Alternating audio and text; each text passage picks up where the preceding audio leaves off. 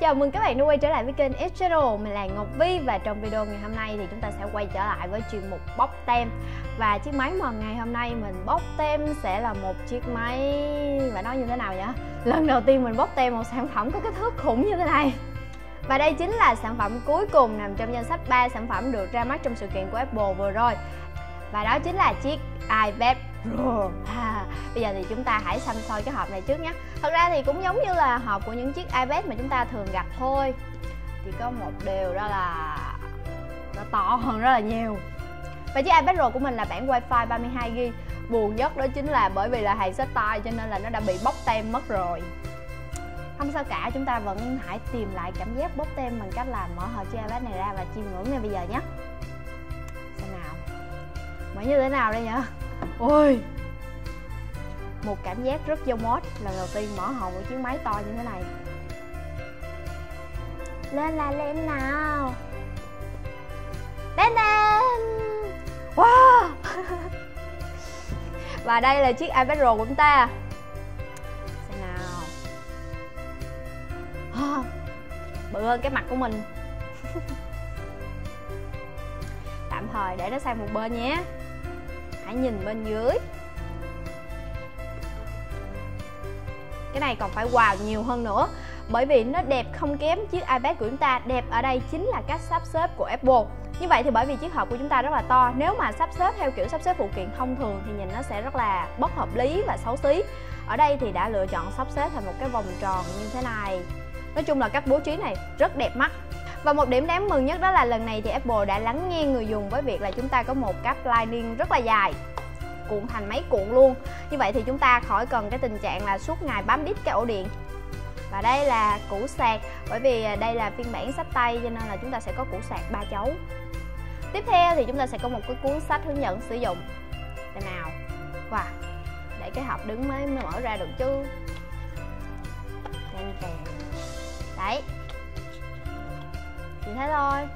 Và cuối cùng, đây là, nói chung là mình quên mất gọi là cái gì, nhưng mà để các bạn gắn vào đây.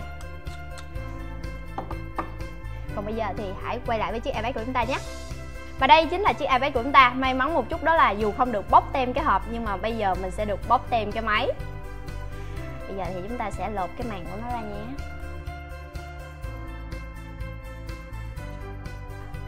Phải nói là trái táo này cực to và rất là sáng bóng luôn. Nhìn cực kỳ thích luôn các bạn ơi. Tâm sự một chút với các bạn đó là trước khi mà mình có cơ hội cầm chiếc máy này, thì mình đã xem nhiều cái hình ảnh và video của nó trên mạng. Và lúc mà xem thì mình thốt lên hai chữ là xấu rồi. Bởi vì cảm giác lúc đó của mình giống như là lần đầu mà chúng ta thấy xấu và xấu lết vậy đó. Thấy nó to quá, thô quá và nhất là không phù hợp với nữ giống như là mình thế nhưng mà khi mà cầm chiếc máy này trên tay ngay bây giờ đây thì mình chỉ muốn nói một điều là sao mà nó đẹp quá vậy? Tại vì uh, nhìn phía sau thì cái kim loại lại rất là sang và lần này thì cái quả táo nó lại to hơn sáng hơn nổi bật hơn. Nói chung là cực kỳ sang trọng. Thêm nữa là cái màn hình to phía trước trông rất là cuốn hút. Nói chung là mình cảm thấy cực kỳ thích.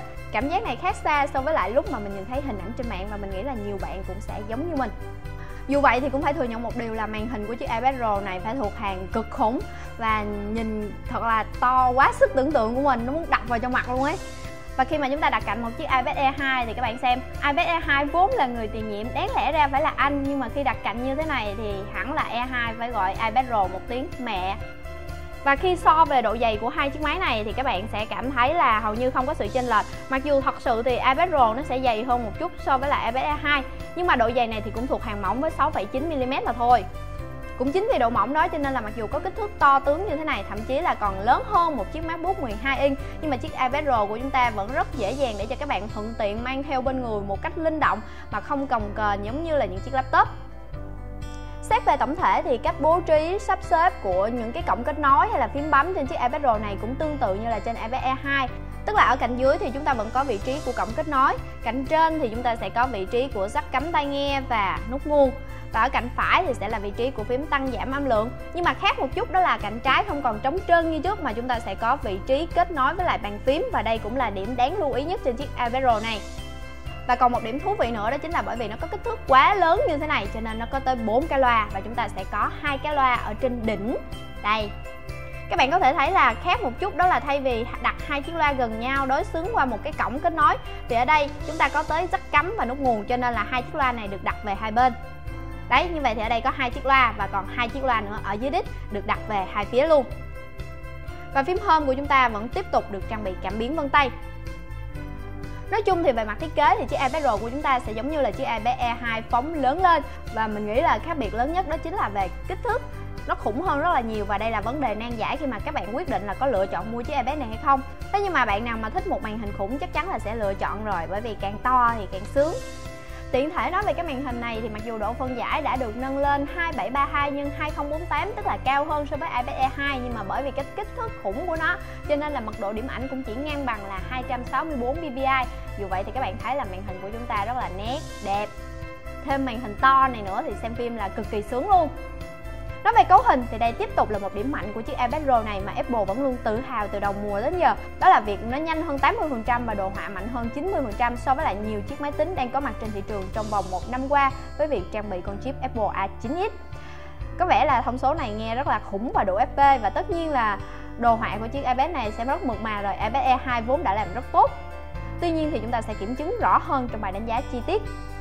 Tiếp nào, một phần rất là quan trọng đó chính là camera của chiếc máy này như vậy thì mặc dù nâng cấp rất là nhiều nhưng mà camera thì lại được giữ nguyên. Chúng ta vẫn sẽ có một chiếc camera 8 megapixel ở phía sau còn camera ở phía trước vẫn là 1,2 megapixel mà thôi.